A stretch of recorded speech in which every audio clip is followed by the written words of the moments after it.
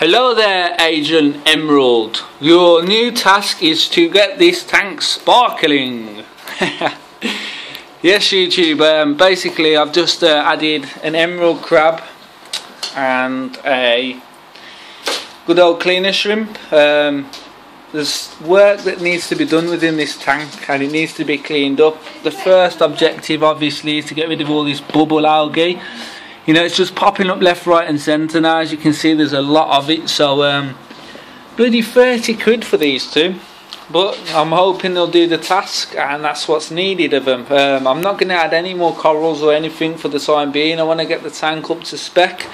As you can see a lot of the corals are going brownish colour. Um, to me that's algae so uh, there's only one way to uh, detect and get rid of everything and it's add more cleanup crew. Now I haven't actually added one of these babies in the tank.